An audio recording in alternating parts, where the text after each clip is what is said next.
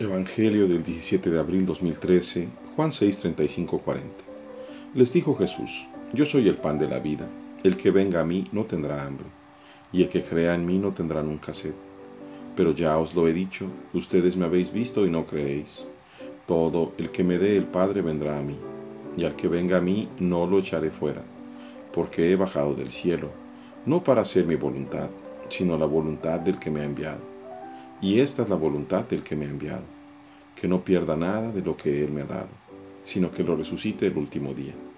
Porque esta es la voluntad de mi Padre, que todo el que vea al Hijo y crea en Él, tenga vida eterna, y que yo le resucite el último día. Palabra del Señor, gloria a ti, Señor Jesús. Continuamos avanzando en este Evangelio Eucarístico, capítulo 6 de San Juan. No solamente un relato de la vida, del momento de la vida del Señor, sino un relato con un mensaje teológico muy profundo. El Señor nos está diciendo en una pequeña frase una verdad tremenda. Yo soy el pan de la vida. El pan que nosotros ahora conocemos como la Eucaristía. La hostia consagrada por el sacerdote. Ahí está verdaderamente Jesús. Y nos pone también a nosotros un itinerario. El que venga a mí no tendrá hambre, el que crea en mí no tendrá nunca sed. Cuando nosotros nos acercamos con confianza a Jesús, Jesús llena nuestras necesidades. Cuando nosotros creemos con fe en Jesús, Jesús nos alimenta, nos sacia con el agua viva que es el Espíritu Santo. Viene aquí un reclamo para estos judíos que lo andan siguiendo por haber comido panes.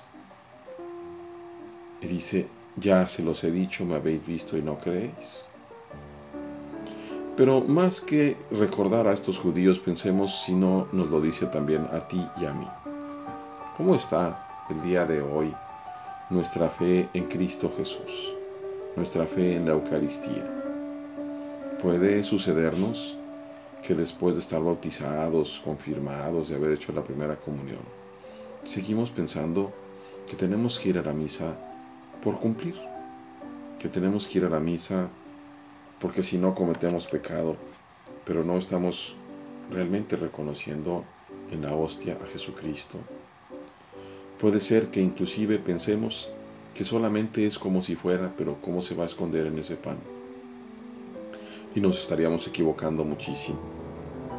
Porque verdaderamente nuestra fe, el núcleo de nuestra fe también, es que en ese pan está verdaderamente la presencia del Señor.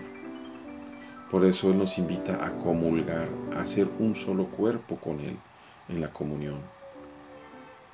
Cuando nosotros comemos la Eucaristía, que es el cuerpo del Señor, o cuando nos llegan a dar de beber la sangre del Señor, verdaderamente el Señor está dentro de nosotros.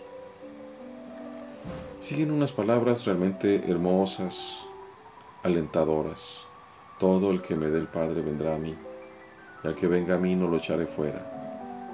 No importa que nuestra fe no sea perfecta, no importa que nuestra constancia también falle mucho, no importa que casi a diario cometamos pecados, eso no es lo importante. Lo importante es nuestro esfuerzo constante para acercarnos a Dios. Esfuerzo constante, no quedarnos tirados, porque solo está vencido aquel que ha dejado de luchar. Y si te ocurre que tienes un pecado seguido, que seguido te comete, cometes, no te desesperes, más bien pídale con mucha humildad al Señor que te permita liberarte de ese pecado, que te permita ir cambiando tu vida para vivir en la amistad del Señor. Luego nos dice, he bajado del cielo no para hacer mi voluntad, sino la que Él me ha enviado. Y nos repite dos veces, nos repite tres veces. Nosotros también estamos llamados a configurarnos con Cristo Jesús, a su seguimiento. Y tiene que ver justamente ese seguimiento con el cumplimiento de la voluntad de Dios, de nuestro Padre, en tu persona y en mi persona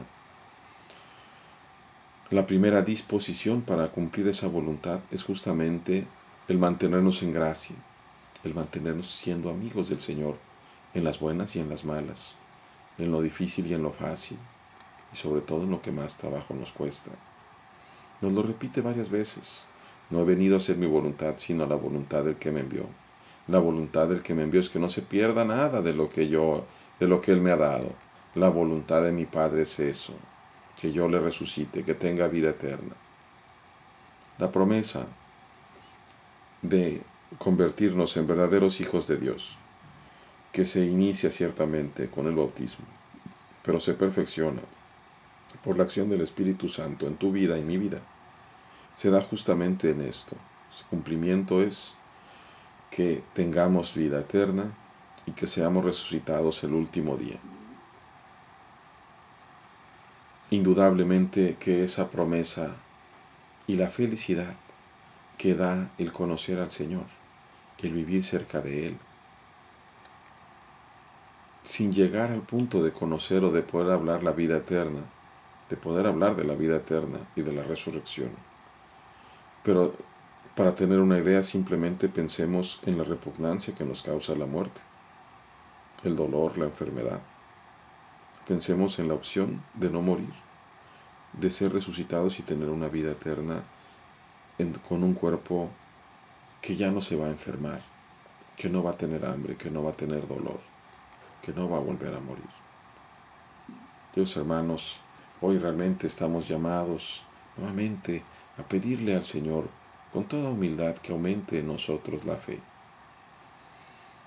que derrame en nosotros su Santo Espíritu, que nos fortalezca y nos conduzca justamente a hacer la voluntad del Padre para configurarnos verdaderamente seguidores, hermanos de Cristo Señor, Hijo del Padre. Se lo pedimos al Padre bueno, justamente por los méritos de la pasión, muerte y resurrección de su Hijo Jesucristo, a través de las manos de la mediadora de todas las gracias, la Virgen Santísima. Dios les bendiga, hermanos.